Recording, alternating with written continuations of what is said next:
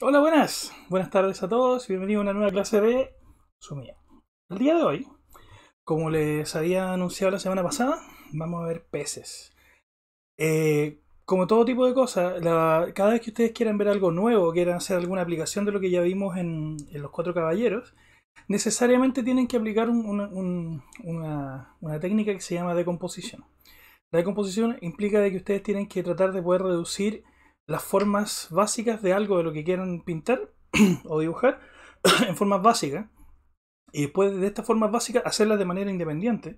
Y una vez que la hagan de manera independiente, eh, te- puede unirla para poder hacer una, una- una- composición completa. Y en este caso, necesariamente tienen que aprender a hacer peces. Ahora, los peces son súper diferentes unos con otros, son súper eh, diversos, pero eh, igual siguen una anatomía que es básica, ¿ya? Que varía obviamente dependiendo del tipo de pez o, de- el pez que vayan, a hacer. Pero todos tienen más o menos como la misma anatomía. Entonces, lo primero que tienen que hacer antes de poder hacer cualquier cosa es entender la anatomía de los peces, ¿ya? Así que se los voy a mostrar enseguida. ¿De qué estoy hablando? Miren, los peces tienen una morfología. Tienen como menos esta forma. Eh, ustedes mira, han visto que el, constructo que uno tiene en la cabeza siempre que quiere hacer un pez es algo como esto. Le pone una- un ojito y hace un pececito. El constructo funciona de manera similar, pero en este caso tiene que ser un poco más alargado. Tiene como esta forma los peces en general. ¿Ya? Y teniendo esa forma tienen partes, tienen aletas. Y son un montón de aletas. Y todas estas aletas tienen nombre. La aleta de aquí, por ejemplo, se llama aleta dorsal. Hay una aleta adiposa que está aquí atrás, que es pequeñita. Aquí hay una aleta que se llama aleta ventral, que está debajo, uh, casi siempre eh, frente a la dorsal, pero realmente cambia de la posición de acuerdo al pez. Eh, aquí está el ano del pez y detrás hay una aleta pequeña que es la aleta anal. ¿Cachai? Esta es la aleta caudal con la que se mueve. Los peces para todos lados. Y aparte de eso, hay una aleta pectoral que está de lado. Entonces, miren, son 1, 2, 3, 4, 5, 6, 7 aletas. Un montón. Luego está el ojo. Aquí hay branquias, que es por donde respiran los peces. Y aquí usualmente está la boca y a veces hay orificios nasales, depende del tipo de pez. ¿Cachai? Pero usualmente los peces tienen esta forma, en general. ¿Ya? Eh, y va, a ser una variación de la forma del pez de acuerdo a lo que ustedes quieran hacer. Entonces, eh, si por ejemplo quieren variar el pez, por ejemplo quieren hacer unas aletas más grandes, se hacen aletas más grandes. Pero son exactamente el mismo tipo de, de peces. Bueno, lo- los otros peces que varían un poco son los. son como los. los- ¿Cómo se llama? Los, eh, los tiburones. ¿ya? Los tiburones son de otro tipo de pez. Pero los peces generalmente tienen esta forma. ¿Ya? Entonces, bienvenidos a los que se están uniendo a la clase. ¿Ya? Un saludo como siempre. Ahora miren, eh, tienen que tener en cuenta esto cuando, cuando vayamos a hacer lo- los peces, porque cada una de estas, de estas de esta parte de acá, esta aleta, la aleta dorsal, la aleta ventral, la aleta anal, la aleta adiposa, la aleta de aquí atrás, cada una de esas, y la aleta lateral, todas estas se van a hacer con pinceladas. ¿Cachai? Entonces, hay una técnica para poder empezar a aprender a hacer peces que es muy, es muy bonita. Que la semana pasada, si vieron el, el, el stream de la semana pasada, eh, se acordarán que mostré un, un libro de un profesor que se llama eh, Takehiko Mikami, que era mi libro favorito. Y en ese libro el profesor hice, y- hizo ese, ese, ese, ¿cómo se llama? Ese- esa técnica de hacer los peces. Eh, un saludo a los que se están integrando ahora a la, a la transmisión. ¿Cómo les va? Ahora miren, vamos a hacer lo siguiente. Vamos a... Oh, se me cayó un pincel. Deme un segundo que se me cayó. Bueno, para que vean que todo esto está en vivo. Se me cae el pincel. Ahora miren. Vamos a hacer lo siguiente. Vamos primero a tratar de hacer eh, la, forma del pez con una pincelada. ¿Cómo se hace esto? Vamos a rellenarlo con agua primero. ¿Ya? Y, esa, y ahora que está relleno con agua, vamos a quitarle un poco el exceso de agua. Ya lo tienen relleno con agua. Lo vamos a rellenar con tinta diluida primero. ¿Ya? Tinta diluida vamos a sacar el exceso. Y una vez que esté esta tinta diluida ya hecha, voy a sacar un poquito el exceso. Lo vamos a poner con tinta completa. Entonces tenemos tres tipos de tinta acá. Tenemos la tinta completa, la diluida y tenemos agua. ¿ya? Entonces lo que vamos a hacer es una pincelada más o menos de, de como, como en 45 grados. Puede ser hacia ustedes o hacia el lado, depende de lo que quieran hacer. Pero vamos a hacer algo como esto. Y vamos a levantar. ¿Ya? Entonces teniendo eso como base, ustedes pueden hacer pequeñas variaciones. Por ejemplo,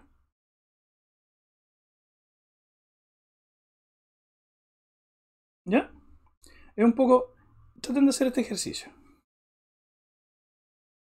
Fíjate que el hecho de haberlo rellenado con distintos tipos de grados de, tinta hace que la tinta eh, quede con algunas partes que están más oscuras y otras más claras, entonces le hago una sensación de volumen, ¿cachai? Como de luz y sombra. Entonces hagan ese ejercicio. ¿Ya?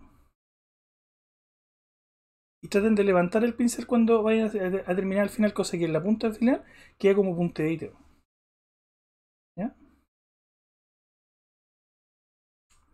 Entonces, una vez que tengan eso más o menos dominado, vamos a hacer un pez. ¿Qué es lo que se hace? Vamos a rellenarlo con las formas que acabamos de ver cuando del dibujo que les puse en el principio. Miren. Déjenme acomodar aquí un poquitito lado. Entonces, de nuevo, llenamos con tinta, o sea, perdón, con agua, sacamos el exceso de agua, luego tinta diluida, quitamos un poco el exceso de tinta diluida también, y luego tinta completa. Entonces, hacemos lo siguiente, hacemos el trazo que habíamos visto y lo terminamos en una punta. ¿Ya? Teniendo eso, empezaron con la, de, la, misma manera que empezaron a llenar la, la, la otra cosa, o sea, esta, esta, esta, forma, podemos hacer la aleta. Entonces pueden empezar, por ejemplo, haciendo las aletas, eh, las, las ventrales de atrás. ¿Cachai, no? Las aletas de las laterales. La aleta de arriba, dorsal. La aleta anal, que va un poquitito acá, la pueden separar incluso si quieren. El ojo, la boca, del pez. La. ¿Cómo se llama? Las branquias. ¿Se dan cuenta, no? Entonces, con un puro trazo, ustedes ya pueden dar una idea de pez. Enseguida. Si lo hacemos de lado, por ejemplo, si lo quieren hacer así como si estuviera como bajo el agua, una cosa así. Exactamente lo mismo. Aleta dorsal, aleta del lado, la aleta pequeña ahí, la aleta de atrás, aleta anal, aleta ventral. Ojo. Branquia. Boca. ¿Se dan cuenta? Entonces, con una sola pincelada ustedes podrían hacer, pueden hacer un, un, pez. Que hace nada. Ahora, ¿cuál es el truco para que... Muchas gracias por, por sus palabras. Ahora, ¿cuál es el truco para que el pez parezca como si estuviera nadando? La idea es que ustedes se imaginen que... La anatomía del pez... Eh, si ustedes... Eh, eh, han comido pescado frito alguna vez, notarán que está la cabeza del pez, ¿cierto? Y luego su esqueleto, más que más, es una columna que llega hasta el final, donde está la cola, y un montón de costillas que nosotros le decimos espina, que son bien delgadas. Entonces eso hace que el pez se mueva de esta forma.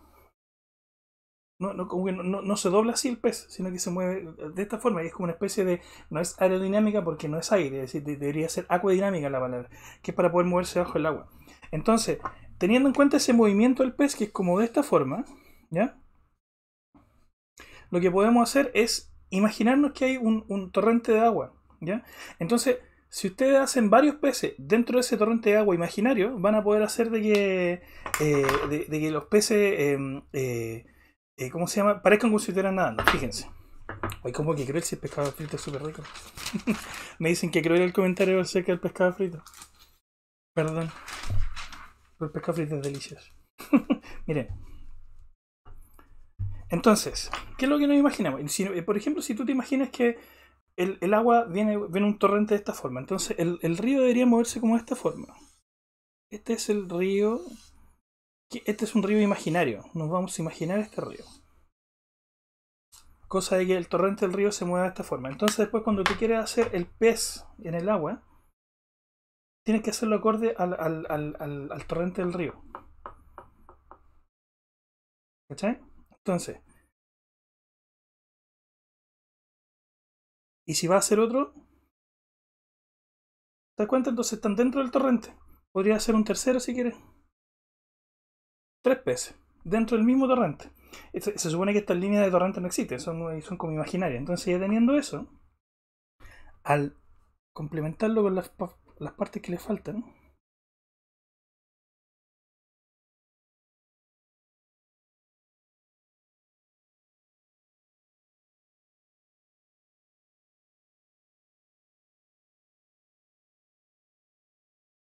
da la sensación de que los peces están nadando. ¿Cachai? Porque siguen como el mismo eh, torrente del río. ¿Entienden? Entonces tratan de tener eso en consideración cuando quieran hacer varios peces, más, más de uno, o sea, dos o tres cosas así. Eh, tienen que tomar en cuenta eso. Entonces, vamos a hacer una composición para que puedan entender bien de qué les estaba hablando.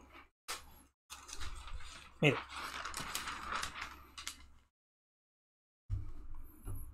Por ejemplo, vamos a eh, poner eh, tinta diluida, luego tinta completa en la punta. Si quieren que eh, así que haya una distribución un poco más uniforme, pueden poner vertical el pincel un ratito, ¿ya? Con el fin de que la tinta empiece a descender de poquitito y se revienta con el, con el, con el, agua, ¿ya? Y vamos a hacer un pez, en la y otro que lo siga por acá. Dos peces. Súper simple. Lo complementamos con las aletas. Esto es presionar, arrastrar, soltar. Presionar, arrastrar, soltar. Presionar, arrastrar, soltar. Presionar, arrastrar, soltar. Tratando de que siga la misma línea. En este caso, la misma línea del, movimiento del pez. Las aletas laterales. Estos son, podrían ser perfectamente unos koi, unas carpas estructuras similares. Los koi son más, los son más eh, coloridos. Si alguno de ustedes, eh, bueno, estamos en pandemia en realidad, pero bueno, asumamos que este video después lo vamos a poder ver más adelante y vamos a poder salir de la peste. Eh, aquí en Santiago hay un parque muy bonito que se llama Parque Bicentenario, que queda en Vitacura. Y en ese parque hay un hay lagos con peces, con koi. Tú puedes alimentarle, vienen los koi y, todo, y es súper lindo para ir a observarlo, el comportamiento está súper bueno. Así que si tienen oportunidad en algún momento de que puedan ir a verlo, vayan a, vayan a verlo. ¿ya? Ahí me preguntan si puedo hacer un pez mirando de frente. Esta técnica no es para hacer peces mirando de frente. Esta es una técnica que estamos viendo hoy día, que es para hacer los, peces con una pincelada. La próxima semana vamos a ver otro tipo de peces. Vamos a ver peces de, perfil, de frente, todo, pero eso son otro tipo de pintura. Esta es una que se hace solamente con una pincelada, por eso que estamos viendo hoy día. Pero me comprometo que la próxima semana lo podamos ver. ¿ya? Entonces, ¿Qué más tienen? Tienen, eh, ¿cómo se llama? La, agallas, ojos.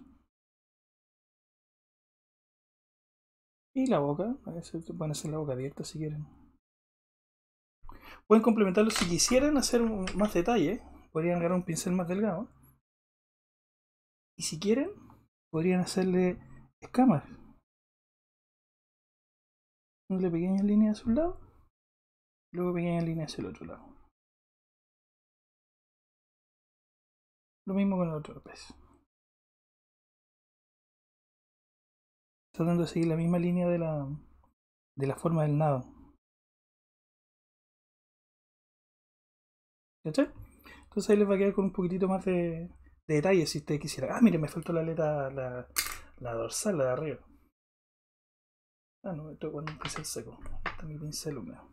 Siempre mezclan sus pinceles ¿eh? para que no, no les quede un poco la embarrada. Miren. Aleta dorsal. Y una, ahí le hice la, la anal, le hice la pequeña. ¿Cachai, no? Entonces, eh, perfectamente con una pura pincelada puedes dar a hacer un, un, puedes hacer un pez de esta forma. Ahora, respecto al parque, hay algunos parques que están abiertos ahora. Por ejemplo, creo que esta semana abrieron Parque Met, el parque metropolitano, creo que en el jardín japonés tienen un, estanque con koi. Si tienen posibilidad de poder ir con mucho cuidado así, traten de protegerse harto, de usar mascarilla y todo, probablemente en Parque Met van a poder encontrar alguna, alguna piscina con koi. ¿ya?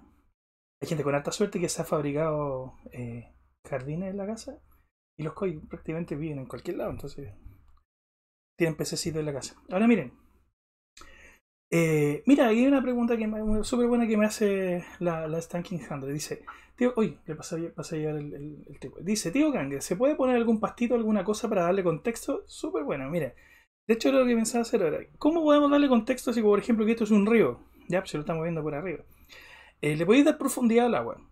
¿Cómo se le da profundidad al agua? Se le da precisamente haciendo como una sombra de, de, de acuerdo a donde le llegue la luz. Entonces, si te fijas, la luz en este momento le está llegando como de acá porque aquí está más iluminado y aquí está más oscuro. ¿Cachai, no?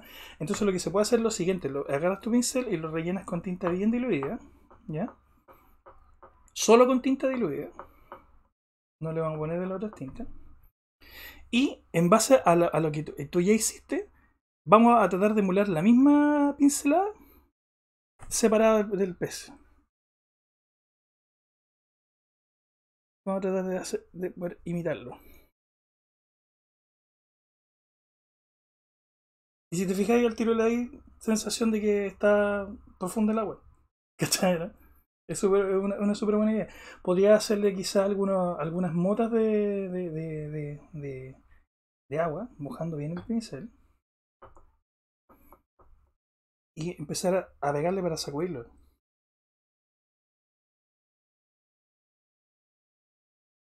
¿Cachai? Y puedes lograr más o menos un efecto así como si estuvieran quizá en el agua. Eh, podría hacer piedras también, si quisiera, pero yo soy partidario de que mientras menos cosas queda, un queda, mejor. Pero podría hacerlo si quiero. O sea, por ejemplo, podría eh, agarrar eh, tinta diluida de nuevo. Y sobre la misma, hacer pequeños pequeñas piedras, incluso encima de, de la sombra que previamente ya hicieron, aprovechando la transparencia. Pero yo encuentro que ya esto ya un poco mucho, pero es una cosa, una apreciación absolutamente personal. O sea, todo depende de lo que ustedes quieren hacer. Entonces fíjate que eso ya complementa súper bien un poco, ya, ya no quedan así como si los simples peces con una pura pasada de tinta, sino que ya queda un poco más complementado con un montón de cosas. Ahora si quisieran, por ejemplo, hacer una composición completa, podrían aprovechar los mismos conocimientos que han adquirido en esta misma clase y hacer quizá encima de esto una, una rama de cerezo. ¿cachai? Y con algunas flores de cerezo encima, entonces quedaría como si estuviera de arriba un árbol mirando hacia abajo del río, etcétera. O sea, va a depender un poco de la, de la composición que ustedes quieran hacer. Pero la idea es que ustedes puedan practicar este pez que es bastante eh, simple y es una súper buena manera para poder entrenar formas en tu cabeza. Eh, hacerla que, la, que sean eh, con una sola pincela. Entonces, hace una pincela y después lo vas complementando, pero tomen en cuenta la anatomía. Así que si tienen oportunidad de poder, eh, ya que están en internet, busquen en internet así como anatomía del pez, vean cómo son los. Dibújenlo una pura vez, a mano, no importa que no les quede bien, dibújenlo para que se lo aprendan, dibujen cómo dónde va el ojo, dónde va la, boca, la aleta anal, etcétera, la aleta dorsal, la aleta lateral, y una vez que lo hagan, eh, se lo van a aprender. Es automático, ¿cachai? Es, un, es un truco mnemotécnico, así que se lo van a aprender súper rápido. Ahora, si quisieran dibujar otro pez eh, más específico, no sé, algún pejerrey, alguna cosa así, requiere un poco más de estudio, pero eso va a depender netamente de ustedes. Usted, eso se lo dejo como tarea porque ustedes pueden ver alguna cosa. Así que eso es hermoso. La próxima semana vamos a ver más peces, vamos a hacer esta, esta, esta petición que me, que me, acaban de hacer por chat acerca de que quisiéramos hacerlo de frente, poder hacer uno más grande, vamos a hacer koi, quizás que, son también son como los favoritos de varias personas. Eso se hacen con manchas de color y quedan súper lindos. Así que vamos a hacer eso la próxima semana para que estén atentos. Vamos a hacer nuevos ejercicios de peso. Una vez más, gracias por venir y los invito a que se suscriban al canal de YouTube, a del Sur, que me sigan en Instagram también ahí en Sumi del Sur, Sumi-del Sur. Y bueno, siempre sus aportes en, PayPal eh, son súper útiles para poder eh, mejorar el canal, ¿ya? Eh, hemos ya comprado un micrófono, luces, probablemente compremos una cámara mejor, así que muchísimas gracias. Mira, ahí antes de terminar me hace una pequeña pregunta, dice Selim Matilde me pregunta, ¿cómo se llaman estos pinceles? Este pincel tú lo conoces como Fude, ya que es el nombre que es la traducción japonés de pincel. Eh, sirven los pinceles de caligrafía, son muy similares, son como de pelo de cabra, son bien largos estos que tengo acá yo en especial son de pelo de comadreja, que son unos que, tengo desde hace bastantes años, que me han servido harto. Pero los que puedes comprar usualmente, así como en tiendas eh, de artículos asiáticos, eh, generalmente son de pelo de son bastante buenos. Y baratos. Lo bueno es que como son baratos, si se rompen te puedes comprar otros. O sea, no, es como tanto drama. Estos son, eh, hay varían, varían lo, lo, caro de acuerdo a la calidad del pincel. Así que ahí va a depender un poco, un poco de lo que tú quieras. Pero para empezar, el de pelo de cabra es súper bueno. Así que para que lo puedan buscar, ¿ya? Eh, si tienen alguna duda, pueden revisar los videos anteriores también a la clase. Y muchas gracias por venir a todos. Siempre es un placer eh, recibirlo acá todos los jueves. Así que gracias por su fidelidad y nos vemos la próxima semana. Cuídense mucho.